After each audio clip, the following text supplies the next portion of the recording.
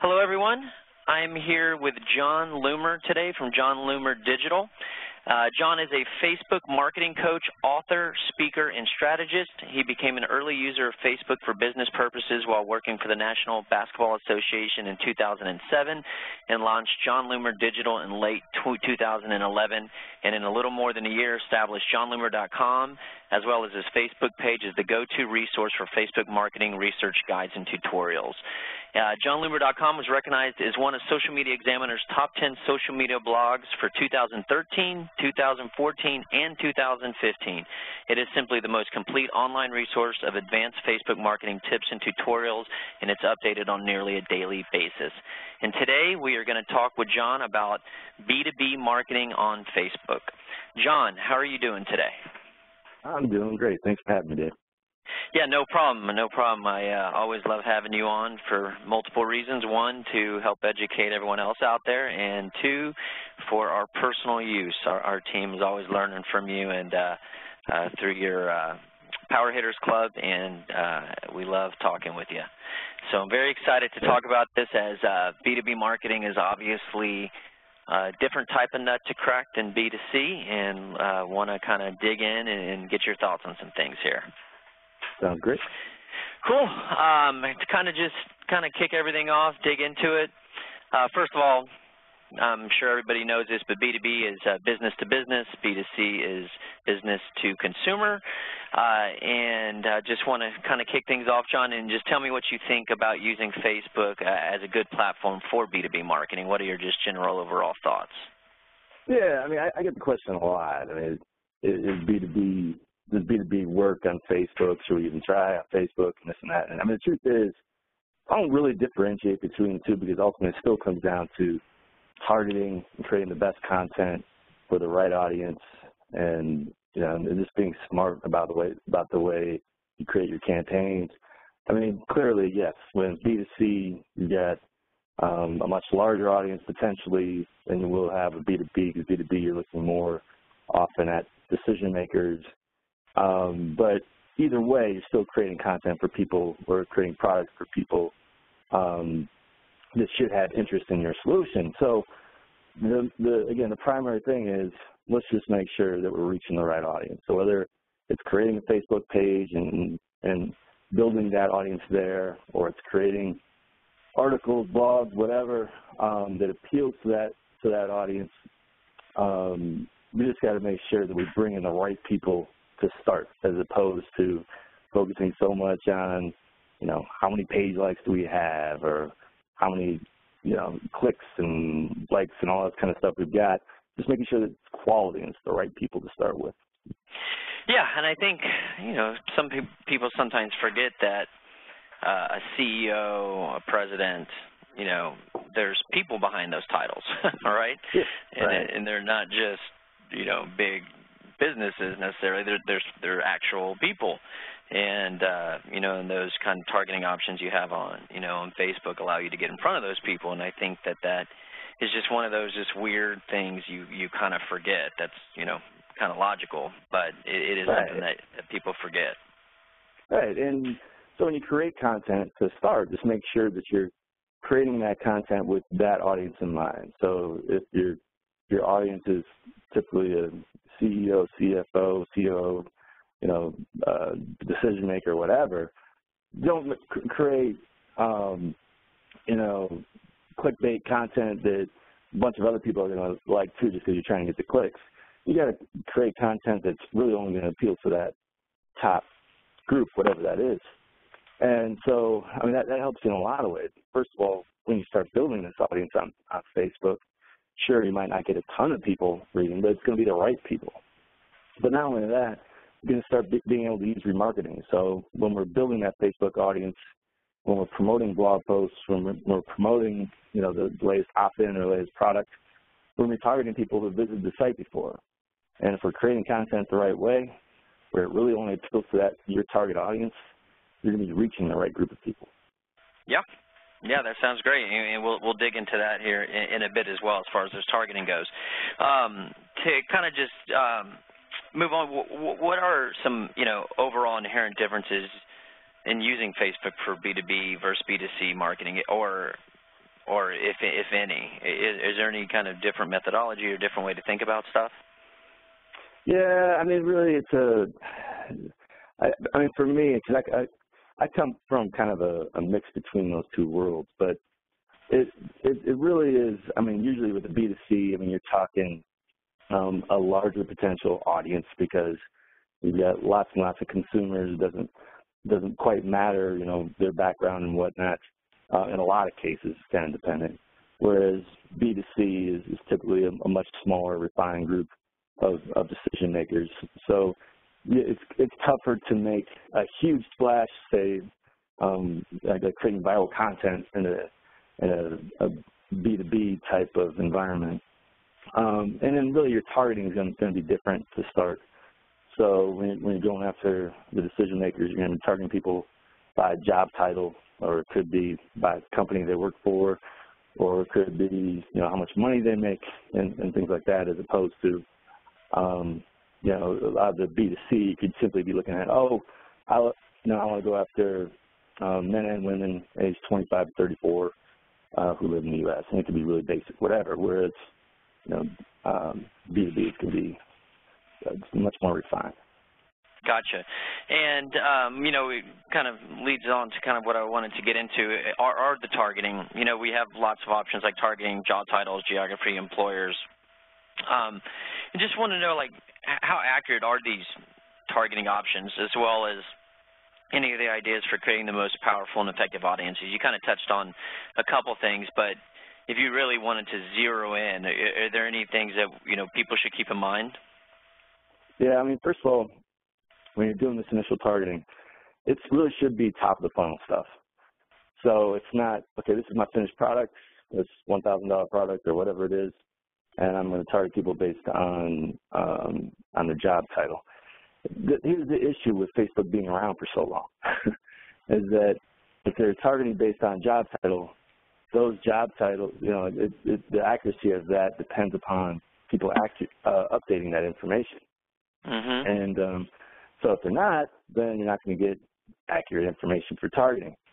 But that's also why, you know, I think it's really important that we, we when we are using that information, we're doing it for the top of the funnel. So we and, and something that's a high volume action, something that's easy as opposed to I'm going to target all those people, not sure how accurate that information is, trying to sell stuff. So there could be a lot of waste in here, as opposed to I got this video that's going to appeal to, to my target audience, um, where I know I can get a lot of views at an inexpensive price, so I can create an audience off of that. So anyone who watches this video is somebody who's in my, my target demographic. So by watching that video, I can remarket to those people and not waste my money on, on the rest that may not be accurate down the road. So, gotcha. So, go, I'm yeah. sorry, go ahead. So yeah, it, like the, the job, whether it's job titles or interests or behaviors, I mean, I, I certainly question the accuracy of all these things. Um, and actually, I wrote a, a blog post recently just about how Facebook will show you how uh, you're being targeted um, in interests. And I found that a lot of it's very accurate, a lot of it's very inaccurate. So we need to look at that as just the first step. We need to bring them into our audience. We need to filter out the bad stuff. So then, you know, uh, with with high volume actions like watching videos and reading blog posts before we send them into basically our Facebook funnel. Gotcha. So now, in, in regards to interests, you know, on, on in a B2B world, what what what are some interests you know we should keep top of mind? Obviously, there's plethora or almost an infinite amount of different industries out there, but are there any pointers you can give in regards to that for the B2B world? I think that's always going to be dependent upon what your product is and who your target audience is. I mean, just just because it's B two B doesn't mean we're all going to have the same type of interest. Gotcha. So, um, it really yeah, depends on the, on the industry. What about behaviors? Yeah, I mean, so that's that's really where we need to start getting into um, education and, and career and job titles and things that you bought, things that, things that you so you can actually go into history of what people are are, are buying, and that's mm-hmm. so you can target people who buy business-related products or whatever it is that, that may be related, related to your brand. Yeah, I think that's a I think that's a good point and something people should pay uh, you know a little bit extra special attention to, where you can really start to define your audience if you're able to know them that you know well enough. You know, if there's a certain book that somebody reads um, that you have found converts for your type of business, or you know, different. You know, if they buy this, then then that. So I think that that might really you know be a very nice way to you know, in addition to job titles and, and you know, and all that they might change. Um, you know, if somebody was a vice president, then they're most likely somewhere doing a pretty decent job somewhere, right? Um, yeah. at, at some point. So, okay, that that's cool. Now, how do you filter out BS titles like CEO right. of making money? And that's a real one. We've seen that. Uh, yeah. So we're, you know, how how do you filter out the, that crap? Well, I think that's precisely why we're we're using this as as the top of the funnel. So okay. we let's, we create a video, for example, that is probably boring to most people, but it's going to be interesting to our target audience. And so when we um, and so we're still targeting at this point because we don't have a, a good built-in audience. We're targeting based on interests and behaviors and job titles, whatever. Um, someone who says they're CEO of making money is probably going to ignore that video because they're not truly interested in whatever, you know, they're not truly a CEO. Um, maybe the name of the company is making money. But um, so, so the thought is the top, you know, 5% or whatever it is that watches this video for, we'll say, 30 seconds or whatever the amount of time we, we determine um, is going to be added to an audience because that's, that's essentially a sign to us that not only were they in that original audience that we thought may be relevant, but they paid attention to something that, that we think is relevant to them. So that, that gives us a good, good sign that they should be somebody we're spending money on, not somebody with a BS title. So that's the gotcha. way I would approach it. Gotcha. Really, so long term, long term in all these situations, you don't want to to rely entirely on things like interests and lookalikes and behaviors, um, just because it, like they're not that accurate. So we, we use it as a first step. Gotcha. Yeah. So yeah, it's it's not a, it's not just a one-two punch. It's obviously more than that. But in general, what really what you're getting at is yeah, there's some great targeting but you use that as just basically the first you know cookie you send out there. And uh, you know let them take a bite of that and then you start building up more refined audiences where then you could you know remarket to them other content but then you start to think about start serving your buying ads over time to those all that secondary audience that you've built through the initial targeting. That's basically kind of what what you what you're really getting at I mean, what you have been right. getting at. Yeah, and and I, I'd even take it a step further that you can make this pretty complex and turn it into what I like to call an evergreen campaign. So you've got one or two actions that trigger it. So basically, if someone triggers this action, that that proves to you that that they're interested in, in, in your industry and they're, they're someone who should be in your target audience. So it could be that they watched this video, or it could be that they opted in for something on your site, and then, uh, you know, the the beauty of remarketing, um, we can create audiences based on someone who performed that action within the last three, four, five, six days, whatever we want to say. So we show them one ad for those first few days, show them another ad for the next four days, another ad for the next four days. So, so basically, we're we're bringing them down the funnel just because they performed that one action, mm-hmm. and then um, and so we could we can be working up slowly. It could be again another informational video, another um, helpful blog post that solves their problems to start. Eventually, start getting into you know opt-ins and registrations, and then we got product and the benefits of a product. And if they haven't you know reached out to because you know obviously with B2B too, we're not necessarily looking at you know, giving a credit card and making the purchase right away. It could be a relationship where you got to have a conversation.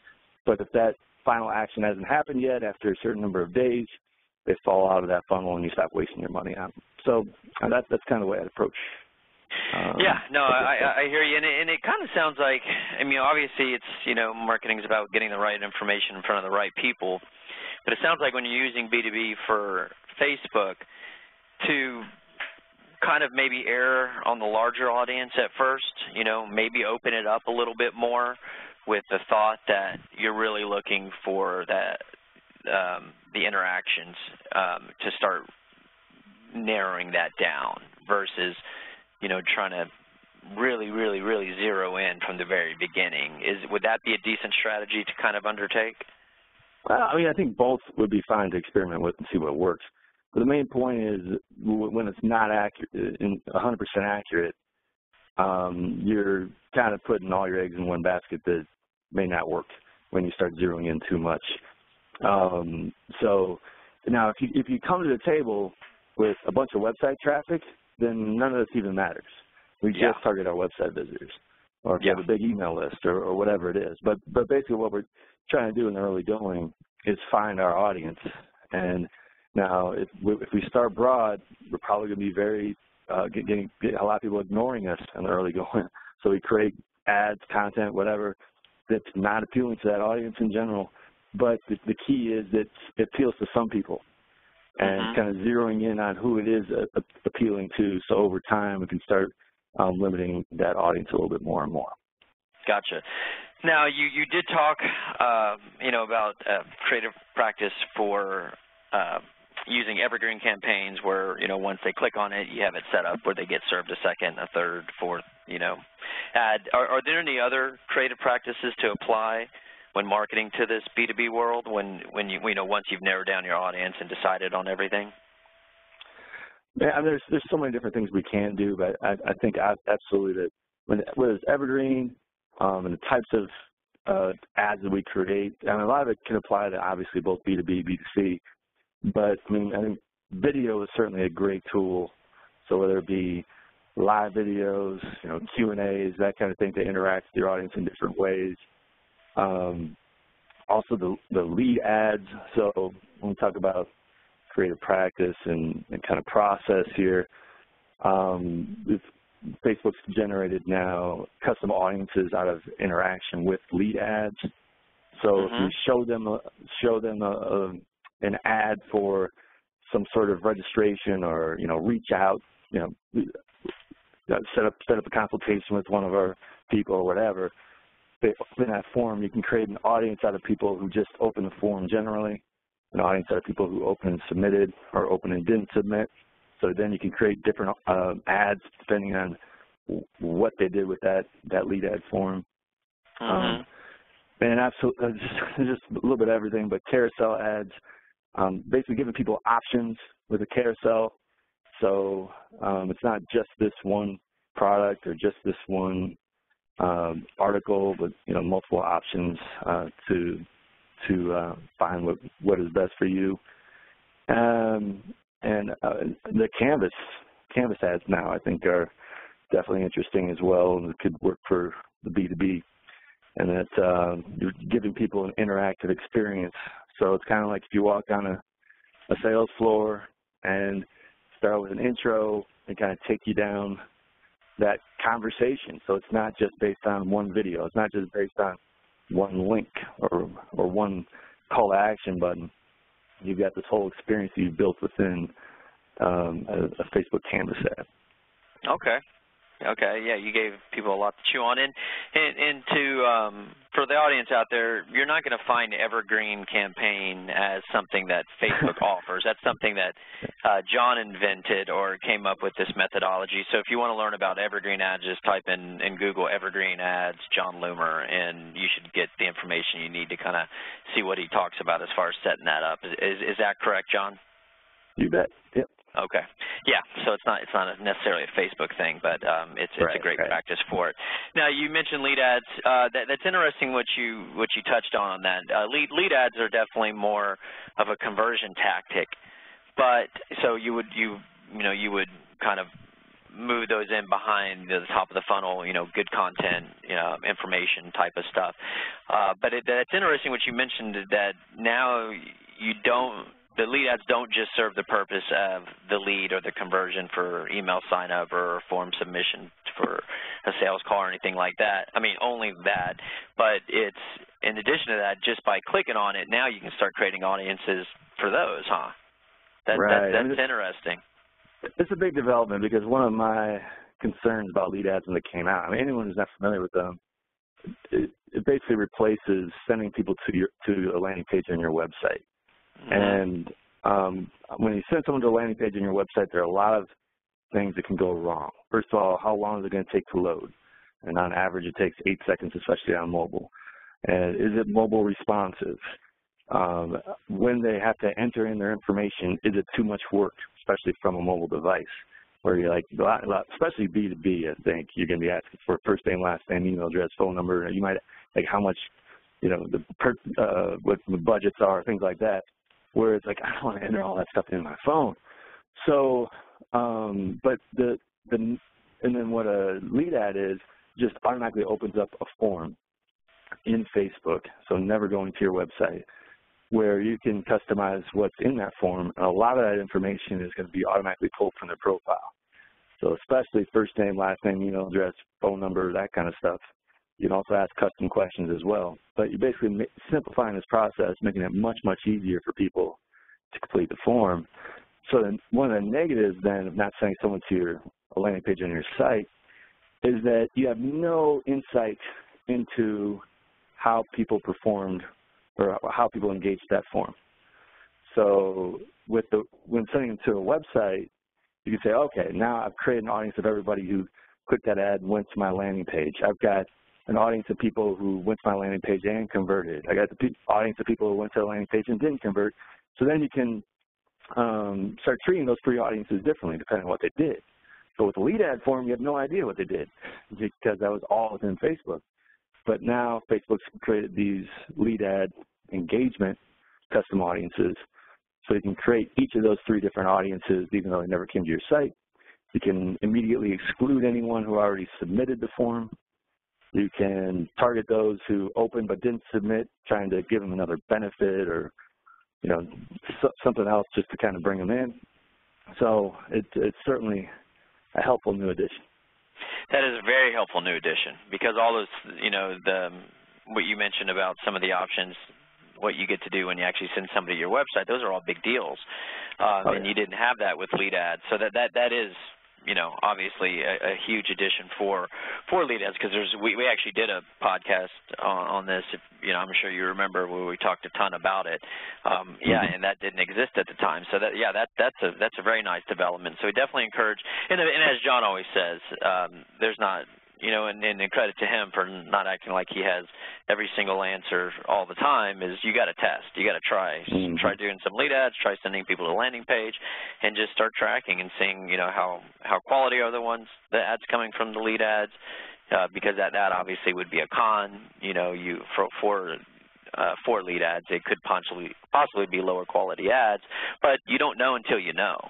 So uh, always track, always test, try them out, and, and see what happens. Um, and, and, Jon's always preaching that, and uh, you know we definitely appreciate that, and it's great advice. Um, all right, cool. Uh, kind of just moving on here. Um, are there any differences or strategies when working with smaller target audiences? Like, uh, you know, in other words, you know, only wanting to go after, you know, C-suite people in a specific industry in a very small geographic area. Uh, would there be any any differences or strata, you know, when when you know from some of the ideas and stuff we've talked about that one might need to need to consider? Yeah, I mean, well, the the main thing is that you've got to, budget and bid differently. Um, so if you're going after an audience of 5,000 people, you can't go after it thinking I'm going to be spending $50 a day. Um, I mean, this is you're, you're really be looking more at the single digits of one, two, three dollars a day, targeting a small audience. Um, also, make sure that it's not just a small audience; it's a very relevant audience. So um, that's why I'm kind of a little hesitant there. I mean, if, if we're going to narrow that audience, make sure that we're narrowing it for the right reasons and to, that it's actually going to be more effective. Um, and if it is, if, and I, I'll use website customization as an example where we know that someone performed a certain action on our site was is extremely relevant, and maybe we only have 500 of those people a day or 1,000 of those people a day, um, and we want to treat them all equally. So if that happens, where you've got an audience that small that um, you want to treat equally, you want to reach 100% of them, not have Facebook optimized, because that's the thing that's happening. You're targeting an audience of 5,000 people or 1,000 people or whatever it is. By default, Facebook's still going to optimize and show it only to a certain number of people within that audience who think is most likely to perform the action that you want. So now you're talking about not an audience of 1,000 people with an audience of a couple hundred people because Facebook's just zeroing in on, on those few people for optimization purposes. But if you decide they're all equal and it's something to experiment with, then you can start looking at things like, you know, removing Facebook's optimization and just doing CPM bidding or just doing daily unique reach bidding. So then they don't optimize, they just show it to everybody within that audience.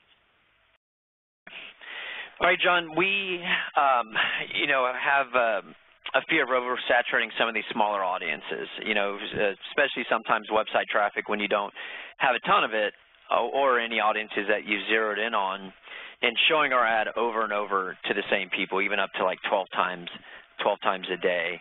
And was just curious, um, you know, what, how we can, you know, avoid going from, you know, really smart retargeting uh, marketing to to becoming an annoyance. Uh, do you have any yeah. any advice on how to avoid that? Yeah, there are a few things actually we can do. I mean, first of all, we can take that um, evergreen campaign approach. So um, if, if they don't perform a certain action within a specified number of days, they fall out of your campaign and they'll stop seeing it. Uh, that's the first thing. The second is um, the type of bidding you use. So um, prime example of when I use daily unique reach bidding is when I'm trying to reach 100% of the audience or as close to 100% as I can, but I'm really careful I don't want to annoy these people with high frequency. Because mm -hmm. basically, if you if you tell Facebook, okay, we've got this audience of 500 people, um, I want to reach all of them. It's really hard to, to just reach all of them, uh, especially if you if you use CPM bidding, and not just flood them. So mm -hmm. basically, you got you got to bid high, you got to have you know a reasonable enough uh, budget to reach them all, and all of a sudden, reaching them four times four times a day. Uh, but to use daily unique reach, what, what that does is you're going to reach as many of those people um, within that audience, but no more than once a day. So it caps it. Oh, okay. And and so, so I use that a lot within my evergreen campaigns where I'm trying to reach as many of those people as possible, but I'm really careful not to just bombard them with ads. Um, so that allows me to be aggressive with my bidding and aggressive with my budget.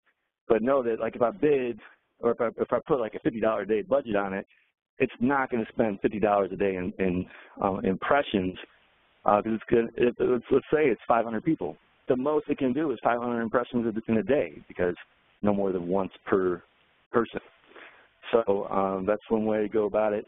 And the other is, you know, it's a little bit more advanced and it's for typically higher budgets, but you can use reach and frequency, reach and frequency bidding uh, in Power Editor when you choose your, when you create your campaign, um, choose your buying type. So that allows you to cap frequency. How many times do you want to reach people over a given seven day, 14 day, 30 day period, whatever. But yeah, you took, the, you took the question out of my mouth. You, you took that was exactly what I was going to ask you. Can you do it more than just a daily unique thing? You can do it over like a week's period. What's that called again? It's uh, re reach and frequency bidding. Reach and frequency so, bidding. Okay. So when you when you create your campaign, by default you're you're using the auction buying type. So no one really even real thinks about oh there's an option there. Um, and within Power Editor you have an option to select reach and frequency. Just know that once you select that you've got to be looking at you know usually several thousands in, in budget um, to be able to make that work. Okay, that that that's that's very key. I, I think people really need to go back and listen to that last minute there, um, because you can go from being very smart to very annoying very easily. it's um, true. So, it's true. And uh, that's that's something that um, uh, you know I, I've definitely been talking to our team about just because I saw my same ad showing me. you know, and I was yeah. like, hey this isn't right, you know. So uh, we'll, we'll definitely, uh, you know, learn something there, and I ho hope everybody else does too, because that's that's amazing well, advice there. And, and um, Dave, I think that's that's why it's also important that you do want to show these ads to yourself. Like I hear a lot of people who say, "How do I exclude myself and make sure I don't uh -uh. get these ads and wasting all this money myself?" First of all, you're not wasting money on like the amount that's being spent showing ads to you are just it's so low, it's ridiculous. Yeah. But also like yeah, I've I've I've been in the same position where I've seen it's like wow, I've seen my own ad a lot lately. So yeah. maybe I need to change what's happening because otherwise you're basing it entirely off of making sure you check the metrics every so often. Um, mm-hmm. so, so being in that audience helps can help a lot to to notice some of these issues.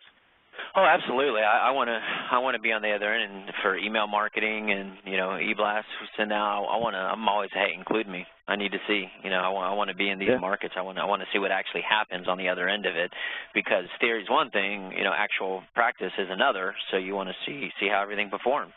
So yeah, absolutely. And you know especially if you're optimizing for clicks, just don't click. right? Yeah. All right. Uh, small businesses with small budgets, you know, if they're just getting started, where's the very first place you would tell them to start? Yeah, I mean, basically, you we need to find our audience. So the first place I send them to is Audience Insights. So it's a tool within the Ads Manager. Um, so I, we, we want to make sure, because the audience really is the primary thing that can de determine whether they're successful or not. And what most small businesses will do they jump into Facebook advertising, they make a whole bunch of guesses on their targeting, they find it doesn't work, and they're like, this this stuff is a waste of money. But in reality, we just got to make we got to zero in on our ideal audience. So use Audience Insights. Um, with this tool, you can put in either you know your built-in audience if you've got one that's that's relatively large. You can put in some of the interests that you would normally be targeting in an ad. You can put in competitor names in some cases. And then Facebook will give you a whole bunch of information in terms of, you know, what the demographics are, um, age, gender, country, city, location, everything, um, the types of things that they buy, the types of pages they like, on and on and on. So, so that gives you a, a general understanding of should this audience be something I'm targeting in the first place? Does it align with what I see as my target audience? Um, and you can learn a lot along the way too, and in particular about what these people like, the pages they like, because they start giving you more ideas for interest targets. So that's the first place. Um, second place would be um, using lookalike audiences. So you've got this small email list, you've got um, website traffic that's been coming in, coming in over the last six months. It's not a lot, but let's have Facebook find people who are similar to those people, automating that process instead of making guesses um, with interest and things like that. So those are the two audiences, uh, types of audiences I would, I would start with, or the audience evaluation I would start with. But again, making sure we are stop, starting with top of the funnel ads, because ultimately one of our main goals in the beginning shouldn't necessarily be, let's see how much money we can make this month. It should be, how how how large can we build this audience of people that I know I can target later that will ultimately convert. So driving mm -hmm. website traffic with with articles, blog posts that are helpful to your target demographic, creating vid videos that are also helpful to that group, and creating audiences off of that as well. All right. Awesome. Well, I, I definitely think we gave a lot, uh, you know, gave everyone a lot to chew on and, and some great advice. Do you have any any fi final thoughts or ideas you'd like to throw in? Constantly changing. So uh, yeah. stay up to date. I mean, it, it's really kind of it's a pretty exciting time right now in terms of all the things that, that Facebook's doing, and um, keep trying, keep experimenting, keep doing different things because you just never know when you're gonna to find that perfect combination. There's never like this formula. Like you, you always see these ads from marketers saying the, the perfect magical formula for success with Facebook ads. Doesn't exist. You got to find what works best for you. Gotcha. And as far as staying up to date, that kind of leads us to our conclusion. Jon, why don't you let everybody know how they can continue to learn from you? Yep. Just go to jonloomer.com. Uh, you can find me on Facebook at facebook.com slash jonloomerdigital. But I think a, a, really good place to start, if you go to my website, again, jonloomer.com, uh, at the top, there's a link for a quiz. Find out what you know and, and what you don't know. So it's a 30-question quiz. Um, when you're done with it, and so you have to set aside 10, 15 minutes. It'll tell you whether you're more on the beginner end, intermediate, or advanced. And based on those results, I'll recommend a free webinar for you. Awesome. And uh, just for people who are listening, it's J-O-N L-O-O-M-E-R dot com. And you can also follow him at, at Jon Loomer. All right, Jon, hey, appreciate you and your time as always, as well as your insight. Um, always just really, really helpful meat and potatoes type stuff here. And, uh, you know, it's no fluff, and, and you're really giving some people some good direction. I really appreciate you being uh, gracious with your time and your intelligence. Uh, well, look, go ahead. I, I appreciate you, Dave, I was I was having fun on the show. So yeah, thanks for having me on. Awesome. We'll do it again soon. Thank you, sir. Sounds good. All right. All right. Bye. Bye.